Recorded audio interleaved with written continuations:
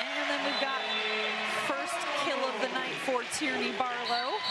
Yeah, that was a great swing. I think the middles have not been too. You could see the difference between when it went straight down and when it didn't. And that went straight down from Tierney Barlow. that was a great swing.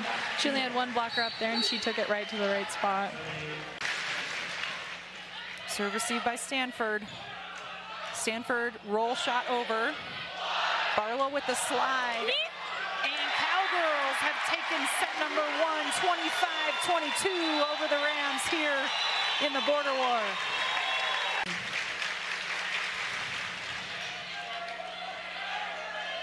Herman goes to Lieber. Caruth gets up for the block. Wyoming has a two-set lead against their border war rivals, Colorado State, here in Laramie. What a block. That was pretty big time. Yeah, that was huge. Great press from both Holcomb and Caruth. Grizzle with the serve. Jones takes the swing, and that kill will give set three to CSU as they extend this match by taking set three 25-19.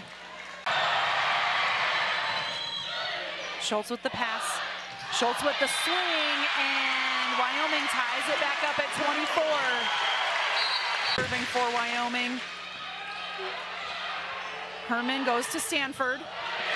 Great pickup by Erickson. Now Schultz. And that is a kill. Wyoming wins the border war.